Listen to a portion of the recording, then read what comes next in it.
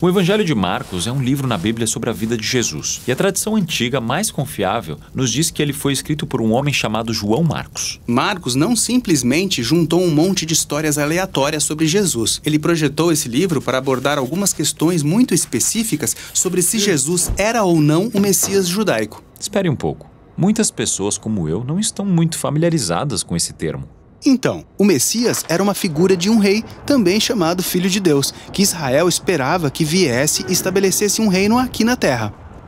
E no tempo de Jesus, Israel era ocupado por Roma, e muitos judeus esperavam que o Messias viesse e derrubasse os romanos para governar como rei.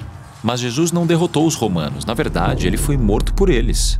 E isso nos leva às mesmas questões que Marcos está tentando abordar nesse livro. Na primeira metade do livro, ele foca em quem Jesus é. Ele é realmente o Messias? Já na segunda metade, ele fala de como Jesus se tornou o rei messiânico. E aqui na metade do livro há uma história crucial que une as duas partes, Jesus responde a essas duas perguntas. Certo, então vamos falar sobre a primeira parte do livro, sobre quem Jesus é. Marcos deixa suas crenças sobre Jesus muito claras já na primeira linha do livro, o início das boas novas sobre Jesus, o Messias, o Filho de Deus. Uma das próximas histórias é sobre Jesus sendo batizado, e a voz de Deus anuncia dos céus: Esse é o meu filho. Então fica muito claro que a história está apresentando Jesus como o Messias. Sim, mas à medida que você vai lendo essa primeira parte do livro de Marcos, você nota que algo muito interessante começa a acontecer. Jesus começa a curar muitas pessoas e constantemente pede que elas mantenham segredos sobre quem ele é. Isso acontece muitas vezes no relato de Marcos, e é muito estranho. Sim, por que manter segredo? Lembre-se de que muitos judeus tinham diferentes expectativas sobre o que o Messias seria e faria. E Jesus não quer que as pessoas entendam mal o significado de ele ser o Messias de Israel. Então, com tudo isso em mente, chegamos agora à parte crucial da história no centro do livro, quando Jesus se afasta com seus discípulos e pergunta: Quem vocês dizem que eu sou? E Pedro diz o que todos estão dizendo: Você é o Messias, o Filho de Deus. Então algo novo acontece, porque Jesus começa a explicar a eles como ele vai se tornar o rei messiânico, mas não é o que eles esperavam. Ele diz que vai sofrer, morrer e governar, tornando-se um servo. Ou, em suas palavras, o filho do homem não veio para ser servido, mas sim para servir e dar a sua vida como resgate de muitos. Pedro fica assustado por causa disso e repreende a Jesus, pois não vai deixá-lo morrer de jeito nenhum. E Jesus responde: Para trás de mim, Satanás. O que é muito intenso. E realmente é, mas isso mostra como é importante para Jesus que seus discípulos entendam quem ele realmente é. Então, aqui nessa parte fundamental da história, Jesus tenta ter essa conversa com eles em três ocasiões diferentes, e em todas elas, eles ficam confusos, com medo. Então, isso nos leva à segunda metade do livro, na qual Marcos aborda a questão de como Jesus se torna o rei messiânico. É a última semana da vida de Jesus. Ele vai para Jerusalém, entra em conflito com os líderes religiosos e acaba sendo preso. Ele é julgado como alguém que afirma ser o rei dos judeus.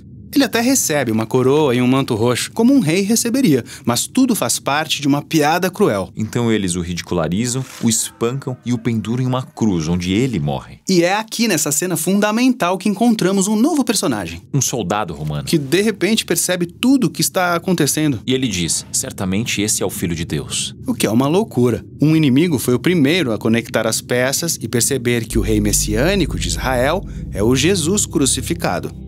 Essa é a estrutura do livro de Marcos. Mas o livro não termina com Jesus morto na cruz.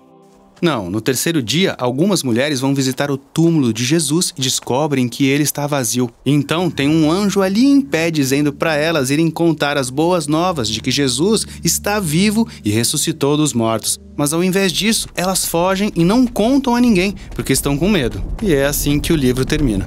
Esse fim é bem abrupto. Sim, é tão abrupto que escribas posteriores adicionaram um fim que traz uma conclusão para a história. Você vai encontrar essa história na Bíblia como uma pequena observação no rodapé que diz que ela foi adicionada anos mais tarde. Mas Marcos é um brilhante contador de histórias. Ele encerrou o livro de forma abrupta intencionalmente. Veja, ao longo do livro, os discípulos ficaram confusos sobre o plano de Jesus de entregar a sua vida a história no meio e agora aqui no fim. É como se Marcos estivesse reconhecendo como essa afirmação realmente é surpreendente.